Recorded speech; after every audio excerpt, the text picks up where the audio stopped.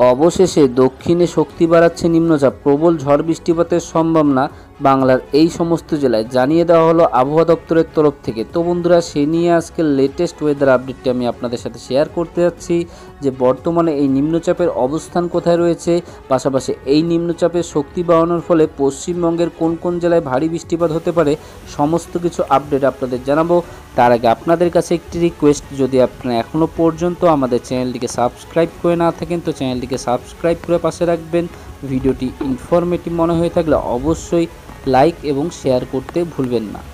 খরার মুহূর্তে আশার আলো জাগিয়েছে। গত শনিবারে তৈরি হওয়া আলিপুর আবহাওয়া তরফ থেকে জানানো হয়েছে, বঙ্গোপসাগরে একটি নিম্নচাপ তৈরি হয়েছে।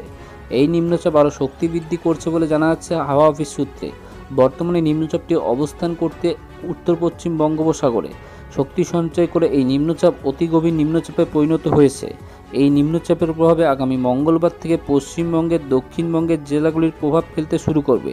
টানা চার দিন দক্ষিণবঙ্গের বিভিন্ন জেলায় অতি ভারী বৃষ্টিপাতের পূর্বাভাস দিয়েছে আবহাওয়া দপ্তর। আর শনিবার নিম্নচাপ কেটে যাবে, পরিস্থিতি স্বাভাবিক হতে শুরু করবে। মাঠঘাট বৃষ্টির অভাবে শুকিয়ে যাওয়ার পূর্বাভাস হাওয়া অফিসের অনুযায়ী এই বৃষ্টির দিকে সাধারণ মানুষ তাকিয়ে রয়েছে। হাওয়া অফিসের তরফ থেকে জানানো হয়েছে, উপকূলবর্তী জেলা উত্তর ও দক্ষিণ চব্বিশ পরগনা এবং পূর্ব পশ্চিম মেদিনীপুরে তিন দিন অতি ভারী বৃষ্টিপাত হতে পারে। এছাড়া অতি ভারী বৃষ্টিপাতের সম্ভাবনা রয়েছে কলকাতা সংলগ্ন এলাকাগুলিতেও। এই নিম্নচাপের প্রভাবে বৃষ্টিপাত ছাড়াও ঝোড়ো হওয়া বইতে পারে বলে জানানো হয়েছে হাওয়া অফিস থেকে। স্থান বিশেষে ঝোড়ো হওয়ার গতিবেগ থাকতে পারে ঘন্টায় চল্লিশ থেকে ষাট কিলোমিটার পর্যন্ত।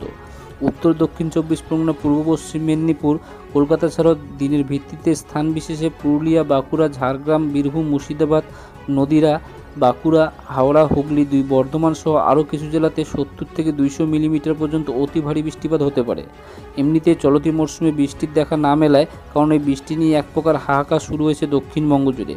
নদী নালা জলাশয় শুকিয়ে কাঠ হয়ে গিয়েছে। মাঠে ফসল রোপণ করা কাজ তো দূরের কথা, সব শুকিয়ে কাঠ হয়ে ফাটল দেখা দিয়েছে, যার এই নিম্নচাপ অনেকটাই আশার আলো দেখাতে শুরু করেছে।